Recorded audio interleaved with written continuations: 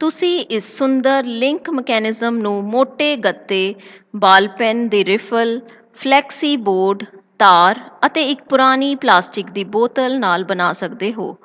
ਜਿਵੇਂ ਹੀ ਤੁਸੀਂ ਕ੍ਰੈਂਕ ਨੂੰ ਪਿੱਛੋਂ ਦੀ ਘੁਮਾਓਗੇ, ਤਾਂ ਦੋਵੇਂ ਬਾਹਾਂ ਇਕਸਾਰ ਹਿਲਣਗੀਆਂ।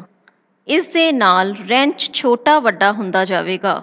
ਇਸ ਉਪਕਰਨ ਨੂੰ ਤੁਸੀਂ ਬੇਹੱਦ ਸਬਰ ਨਾਲ ਬਣਾ ਸਕਦੇ ਹੋ।